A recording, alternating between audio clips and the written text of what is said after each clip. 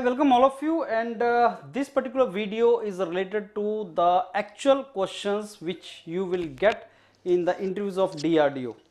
As you know DRDO interviews are going uh, are going to come soon. Many of you have got the calls for the interviews. Typically in uh, DRDO, ISRO, BARC they tend to check the approach which you follow in, during the interviews. So they give you very simple question to start with so let us say you uh, you tell them that uh, strength of material is your favorite subject. Then they will ask you, okay, in strength of material, do you know what is uh, what kind of stresses are induced in a body? Then you will say, yes, sir, we know two kind of stresses are there, normal stresses and shear stresses are there. Normal stresses further are of two types, like you know, uh, tensile stress, compressive stress. And uh, then he will ask you that if I give you a body subjected to normal uh, stress loading, something like this if I give you a body subjected to normal stress. Can there be shear stress induced in the body? And the answer is yes sir, if a body is subjected to normal stress at particular plane, let us say this plane, then on the oblique plane you can get shear stress also and normal stress also. Then he will go further and then he will say, okay, how do you analyze the stresses in the body? So he will say, sir, I analyze stresses uh, through some formulas and uh, maybe Mohr circle then he will ask you, okay, why do you want to calculate maximum uh, uh, the principal stresses? How do you define principal stresses? Why do you calculate principal stresses? Sir, we calculate principal stresses to know the failure actually to predict the failure because we don't want failure to be there. So to predict the failure, we calculate the normal stresses. Okay, so uh, failure is because of which stress? Normal stress or shear stress? So that depends on what kind of material is there. I mean, it's a brittle material or you know ductile material or what is there. Normally the brittle materials are good in shear and uh, they have better shear strength compared to the ductile materials and ductile materials fail in the shear mode. So that is the reason we need to calculate the shear stress. Then slowly we will enter into Mohr circle. You know what is Mohr circle? Why do we plot Mohr circle? Sir, better picture, uh, visualization. The radius of Mohr circle gives us maximum shear stress. So, so to have better uh, visualization, we draw Mohr circle. Then this is now actual question of DRDO. then he will tell you, okay,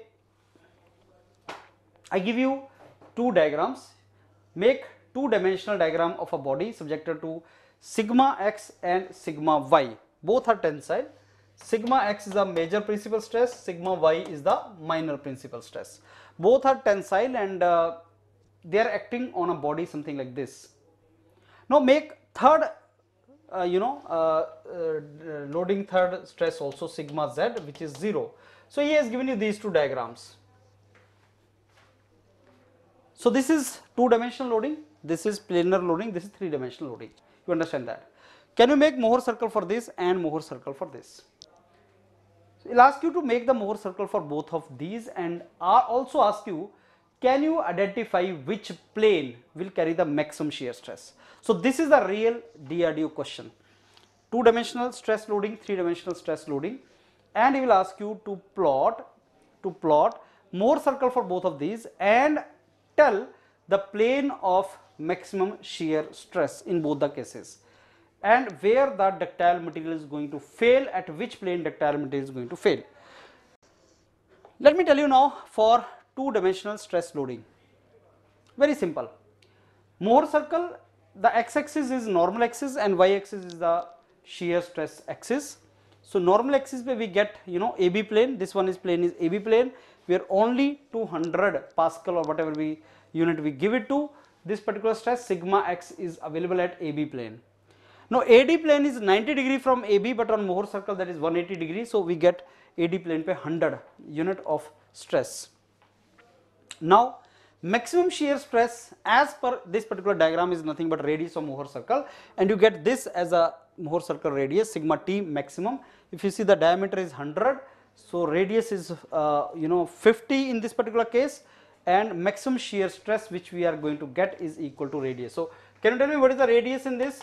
Radius is nothing but maximum shear stress and that in this case comes out to be 50 units so that is the maximum shear stress. And on which plane it is coming? It is coming on this plane, AC plane. You understand that? So this one is the AC plane. The moment I draw the other diagram which is given to me, the moment other diagram I draw which is given to me. This is a diagram which I get. And in this diagram now sigma z is given 0. How do you draw Mohr circle for this? Now you need to draw Mohr circle for you know these three axes normal stress, shear stress and this is the three dimensional loading 3D Mohr circle for 3D. This is Mohr circle for 3D loading. Mohr circle for 3D loading is drawn something like this. So, what is the maximum stresses? How many radii you are going to get in this particular case? If I consider, you know, I am going to get three kind of radius here. Let's say R1, R2, R3. R1 is coming out to be maximum. That is 100 right? R1 is coming out to so sorry R2 and this is same.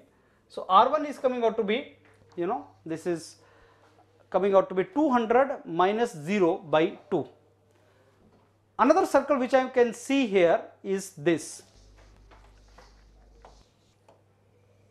and let us say this for me now is R2 so that R2 sigma y is also 100 so R2 is 50 and R3 is also 50. So I am going to get 3 circles here, 1 circle. So 3 dimensional stress loading may you get 3 circle and the radius is nothing but sigma x minus sigma y by 2. It can be sigma y minus sigma z by 2. It can be sigma z minus sigma x by 2 So take the combination, uh, permutation combination and whatever is the maximum, whatever is the maximum you have to take that. So you have to take maximum of these three and accordingly the maximum radius you have to take and that will be the maximum shear stress. On what plane? So now you see it is uh, maximum is sigma x minus sigma z, x z plane. Now this is sigma x, this is sigma z. So x z plane पे मेरे को बताओ कैसे fail करेगा? Can you tell me now? x z plane means what? Which is this plane? X z plane. And uh, this was you already calculated. So what is xz plane? Is this the plane or is this the plane or what do you think is the plane? Which plane do you think it is going to fail? That was the third question. On which plane? Can you make that particular diagram and tell me on which plane this particular body is going to fail shear plane kaun se wala hoga that is very very important question think it of and this was a real drdo question and i'm very sure you got some idea how the questions they will frame कितना maximum shear stress आएगा और कौन से plane पे fail करेगा how this all evolves तो when you study some subject in engineering please go in depth of that please go some deep knowledge up to that बहुत formula wise नहीं concept wise concept wise should be very very clear I mean picturisation की कौन सा plane होगा वो? That also is important you need to make some picturisation के which plane it is going to be accordingly you have to go for it fine thank you